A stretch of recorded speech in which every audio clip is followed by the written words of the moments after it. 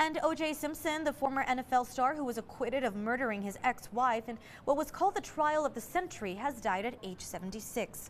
According to his family, Simpson died Wednesday after a fight with cancer. Simpson uh, played 11 seasons in the NFL, but his sports legacy took a backseat in the 1990s after his ex-wife Nicole Brown Simpson was killed. Simpson's case went to trial in 1995 and was broadcast to millions of viewers across the nation. He was acquitted of both murders in a controversial verdict.